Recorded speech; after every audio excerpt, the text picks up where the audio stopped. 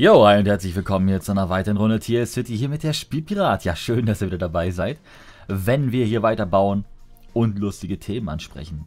Vorweg, ähm, ich habe mir jetzt gerade nicht aufgeschrieben, sondern das Thema für heute und die, die Personen, die dazu äh, eine Frage gestellt haben, äh, im Kopf so ein bisschen gemerkt und ich versuche jetzt mal ganz schnell einfach das am Anfang so wegzurattern, damit ich es nicht wieder vergesse.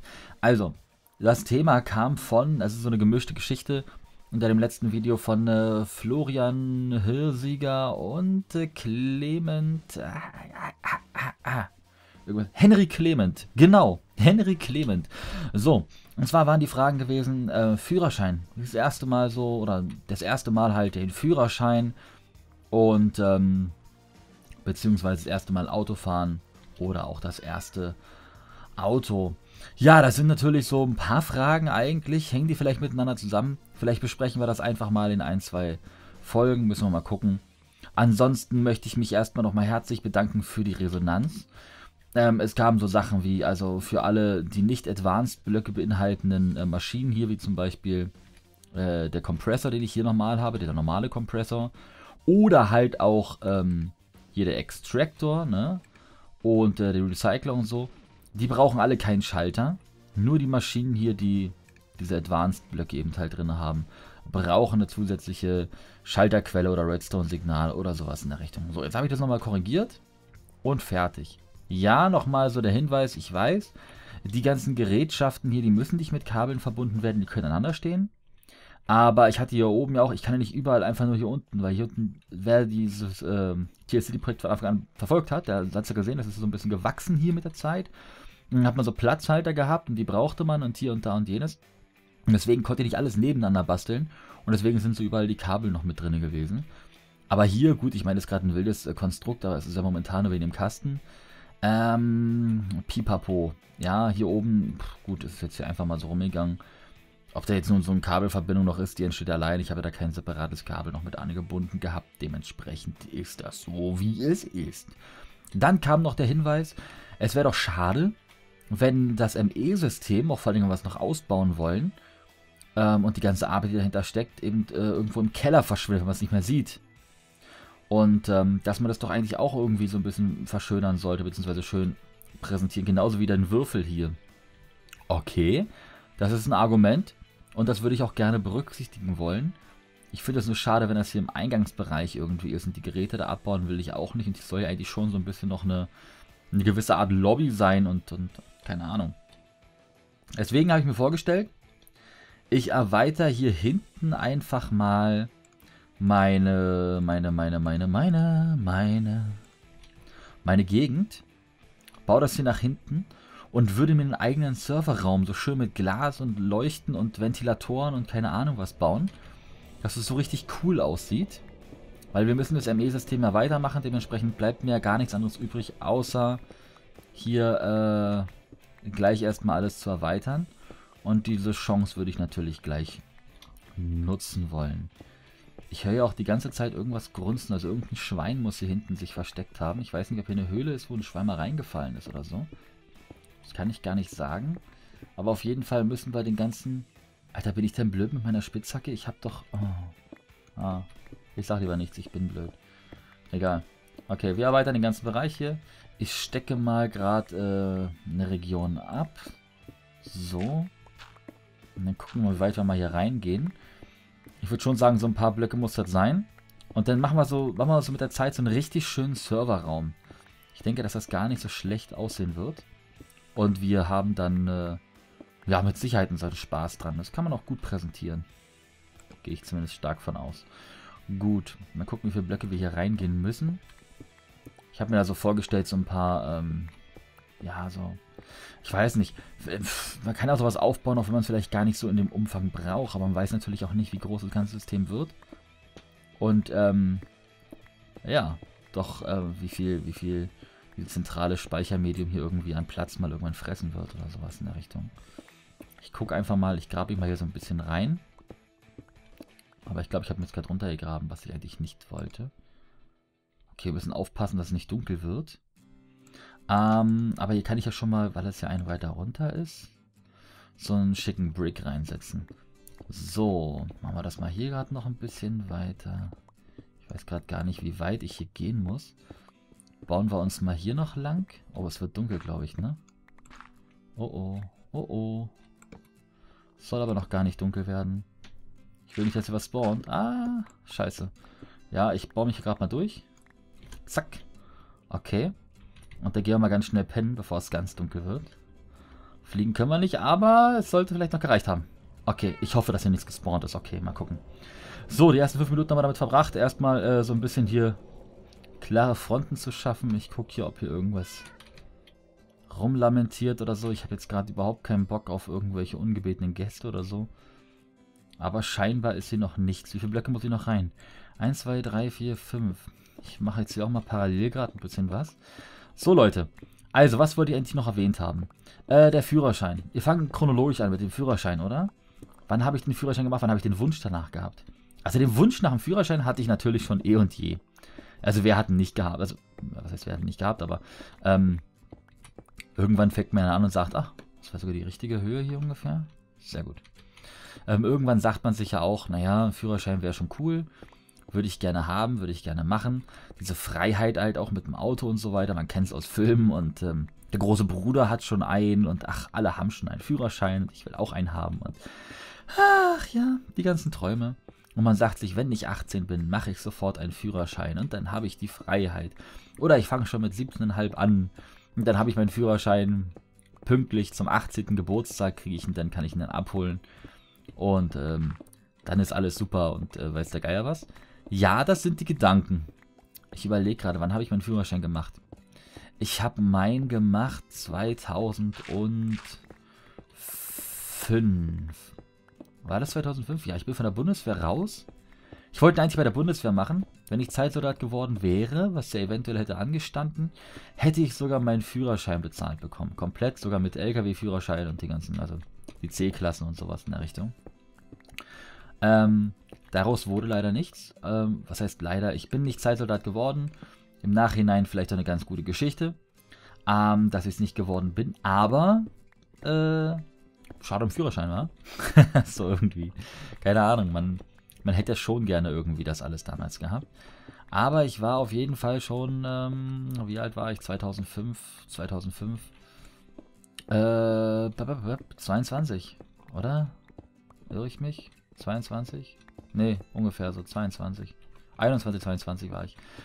Ähm, und da habe ich meinen Führerschein äh, ja, gemacht. Und zwar im Sommer mit der Promisse, es hieß mal, äh, als ich meine Ausbildung angefangen habe, ja, ein Führerschein ist wichtig, den muss ich machen, den brauche ich.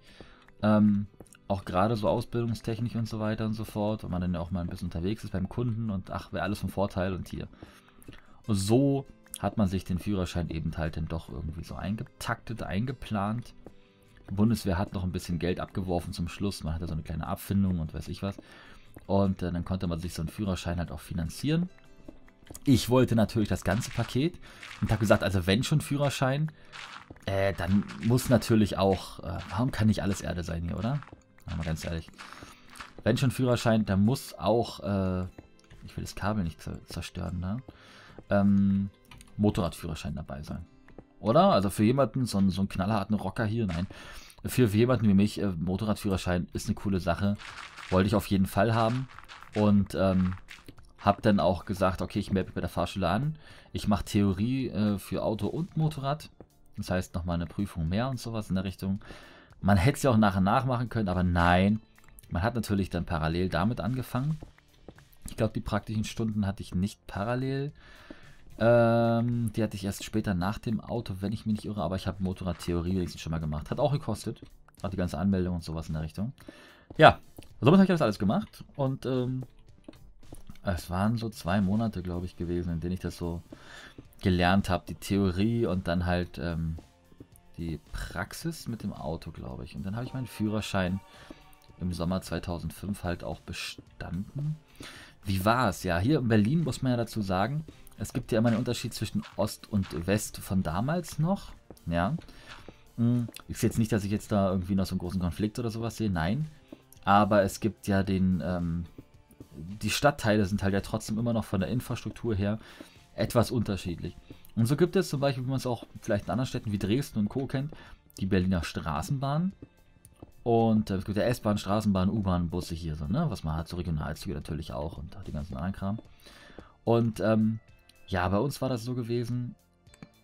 Ich habe ich, ich habe so ein bisschen an der Grenze gewohnt. Also an der Grenze, das klingt immer so, das ist aber gar nicht mehr so, kann man sich gar nicht so vorstellen. Aber ich habe früher, ähm, ja, so eigentlich noch im Westen, aber an der Grenze. Oh nein, nein, nein, nein, nein. Achso, warte mal, der kann ja eh nichts mehr verwandeln, oder? Warte mal, mit dem Kupfer. Wenn ich jetzt hier gerade Kopperohr habe, ist nämlich gar nicht so schlecht. Dann können wir das nämlich hier, ähm, wo haben wir ihn? Wo haben wir ihn? Wo haben wir ihn? Das war der Macerator, oder? Wir brauchen nämlich noch Kopperohr, was wir hier reinpacken müssen. Zack. So. Jetzt haben wir hier normales Kupfer. Und das wollen wir natürlich auch verwandeln lassen, oder? Hervorragend. Genau so muss es sein. Packen wir den hier noch mit rein und dann wird das ja auch verwandelt. Dann haben wir wenigstens da schon mal was gemacht. Und ja, Platz haben wir auch wieder. So, und was habe ich denn? Yeah, Steinchen tanzt um mich herum. Ich liebe es. Ach, den Magneten. Ich hoffe, der stört euch nicht. Aber der macht die Arbeit irgendwie ein bisschen, bisschen leichter. Und äh, ich weiß nicht, ich finde es unnütze, wenn ich die ganzen Sachen immer wieder aufsammle bis jetzt hier im Let's Play. Das lenkt nur ab. Und keinem ist geholfen. So, dich packe ich mal hier hoch, weil dich muss ich mal irgendwann reparieren. Ähm, ja. So, ich also, äh, Berliner Straßenbahn ist so mehr im Ostteil gewesen. Äh, nicht Quatsch, die Straßenbahn, doch, die Straßenteil ist mehr im Ostteil. Außer ein paar kleine Bereiche, die mal irgendwo in den Westen reinragen. Also Westteil, mein Gott, ursprünglich aber auch nur. Nicht falsch verstehen, die S-Bahn fährt überall. Die U-Bahn fährt mittlerweile auch in den ehemaligen Ostbereich rein. Aber, ähm, beziehungsweise gab es die U-Bahn ja auch schon vorher und ist teilweise damals bei Westgründung eben halt äh, gesperrt worden und so. Also die U-Bahn gibt es schon. Äh, ist immer halt so unterschiedlich ausgeprägt, ne? Von der Masse her, von den, weiß ich was. So. Ist natürlich auch eine kostenspielige Geschichte gewesen und damals hat man da äh, ja, im Ostteil halt äh, die günstigere Variante genommen, die aber auch jetzt nicht weniger schlecht ist. Also, ähm, von daher, okay, lassen wir es einfach mal so stehen. Was war denn dann gewesen? Ich überlege gerade. Äh, dann habe ich also quasi so an der Grenze und habe im, im Ostteil meine Fahrschule gehabt. Ja, so im 10. Bezirk Prenzlauer Berg. Und ähm, dann musste ich meine Fahrschule, meine, meine, meine, meine Übungen und so weiter im, Straßenver also im Straßenverkehr mit Straßenbahnen machen. Weil die sind halt immer noch so im, im Ostteil mehr rumgefahren als im Westteil. Und äh, ich habe jetzt ehrlich gesagt wenig mit Straßenteilen, im, äh, mit, mit Straßenbahnen im Straßenverkehr zu tun gehabt.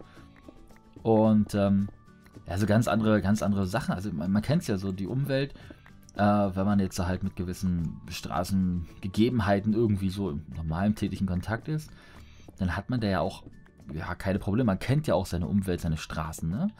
Also, wenn man jetzt im Dorf fährt und man kennt halt, oder man hat im Dorf irgendwo seine Fahrschule, dann fährt man eben halt im Dorf überall rum, äh, kennt die Straßen schon und gut. In der Großstadt kann das schon mal ein bisschen schwieriger sein, ja. Da ist es halt so, dass man nicht jede Straße kennt, einfach mal so von vornherein. Das ist ja auch ganz verständlich.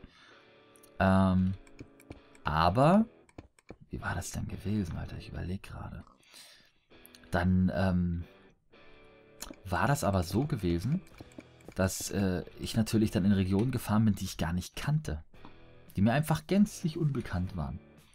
Jo, und damit musste ich erstmal irgendwie, irgendwie klarkommen. Also wenn man sich überhaupt nicht so als, als, als Homie hier fühlt, irgendwo da, wo man lang fährt, ja, und so diese, was hat man jetzt so für, für, für, für ja, die Mentalität der Leute halt auch unterschiedlich. Ne? Also sprich, ähm, da rennen die Leute einfach mehr über die Straße, ja, wie sie wollen, ähm, als vielleicht da, wo man sonst irgendwo, weiß ich nicht, ja, irgendwo im Straßenverkehr teilgenommen hatte und so weiter und so fort. Über mehr Menschenmassen da wurden eben halt die Straßenbahnen zum mehr gefahren, keine Ahnung. Also die ganzen Unterteilungen, da muss man sich drauf einstellen. Das war so diese Herausforderung gewesen, ähm, nicht zu wissen, wo man irgendwie lang fährt, was einem an der nächsten Kreuzung erwartet. Aber man hat es ja trotzdem gemeistert. Es war schön. Ähm, ich hatte eine absolutes Muffensausen so. Ähm, in dem Moment, klar, erstmal so ins Auto. Und dann hieß es ja, jetzt pack mal aus. Äh, WTF, was?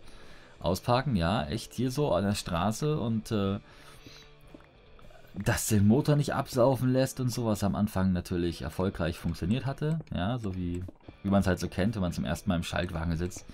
Äh, ist klar, dass man dann erstmal, ja, den Motor irgendwie so leicht, den leicht abwirkt oder sowas in der Richtung. Und das muss man ja natürlich auch lernen, dass man eben halt nicht den Motor irgendwie abwirkt, sondern dass man ihn halt am Laufen halten äh, kann. Vernünftig kuppeln und sowas in der Richtung. Naja, und dann ist es halt wirklich dieses Anfahren am Berg. Ich weiß noch, die erste Stunde, dann haben wir uns damit beschäftigt, immer zu gucken, ob denn welcher Schalter im Auto überhaupt für was zuständig ist, ne? Das Licht, dass es funktioniert und ach, diese ganzen Geschichten halt, so die ganze, ja, die ganze Funktionsweise auch irgendwie, dass man damit, dass man damit irgendwie vertraut ist und ähm, damit auch irgendwie klarkommt und sowas in der Richtung. Ja, das sind natürlich Sachen, die, ähm, ja, die die musste man eben halt auch erstmal lernen. Damit muss man auch erstmal umgehen und sowas in der Richtung. Gut, war aber ja kein Problem gewesen dann irgendwann. Fuhr sich relativ schnell ein. Ich glaube, die schriftliche hatte ich irgendwann mal... Kann sein, dass ich die erste schriftliche verkackt habe. Will ich mal ganz ehrlich sein. Ich glaube, die habe ich nicht, die habe ich nicht gepackt oder irgendeinem oder was war das Motor? Ich weiß nicht. Irgendeine Theorie war, glaube ich, am Anfang. Naja, nicht ganz 100% haben irgendwie noch ein paar Punkte gefehlt oder sowas in der Richtung, aber naja. Das ist ja jetzt nichts, wo man sagt, äh, boah, Loser. Doch, könnte man eigentlich. Nein, Quatsch. Ich war einfach nur zu faul, alles zu lernen. Man hat dann irgendwie so Fragebögen gehabt, dann lernt man eher so diese ganzen Bögen auswendig, anstatt ähm, sich mit der Theorie zu beschäftigen und der Logik. Wobei diese Fragen ja auch immer gestellt werden, als, weiß ich nicht, als ob man irgendwie so Pfandfragen bearbeiten muss, ja, irgendwie. Der Prüfer will einen stets und ständig reinlegen und du musst dahinter kommen, dass er dich reinlegen wollte. Also irgendwie ist es, äh, also ich hasse diese Fragen. Ich hasse diese Fragen wirklich. Es war Multiple Choice. Beziehungsweise kann eben halt aber auch mehr als eine Antwort richtig sein. Das ist natürlich weniger Multiple Choice. Also es ist halt, es ist halt schon, schon irgendwie kritisch gewesen. Manchmal, aber naja gut, man hat es ja trotzdem hingekriegt. Also ich bin glücklicher Besitzer eines Führerscheins und musste ihn zwischenzeitlich auch nie abgeben. Und das ist schon mal gut. Ja, da freue ich mich drüber. Ähm, Fahrverbot war zumindest noch nicht da gewesen. Äh, jetzt könnte man sagen, was nicht ist, kann er noch werden. Böse Zungen würden behaupten, ja. Das ist in der Tat so. Ähm, das wird mir auch noch mal passieren. Nein, ich weiß es nicht. Man muss sich ja natürlich auch benehmen im Straßenverkehr. Man ist ja Vorbild. Vorbild für irgendwen. Nee, weil im Ernst.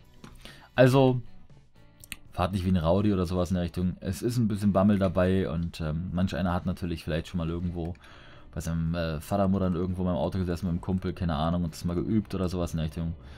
Darf man natürlich nicht. Pff, aber, nicht wahr? Darf man natürlich nicht. So. Merkt euch es, man darf es natürlich nicht. Aber wer macht es denn nicht irgendwie? Irgendwie übt jeder mal mit irgendwem, irgendwo, irgendwann auf irgendeinem Parkplatz verlassen, keine Ahnung was.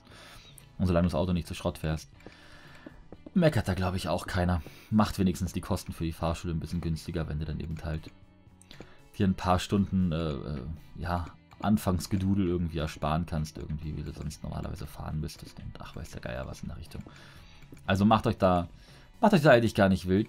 Ist schon lustig. Und wenn man so einen Führerschein hat, dann ist man stolz. Ähm, ich muss dazu aber sagen, ich habe den Führerschein gar nicht sofort in der Hand gehalten. Den hatte ich erst ein Jahr später. Und warum das so ist, das erzähle ich euch in der nächsten Folge. Und bis dahin, Liebe Grüße, euer der Spielpirat. Ach ja, wenn es euch gefallen hat, lasst mal einen kleinen Daumen da und einen Kommi. Bis dahin, ciao.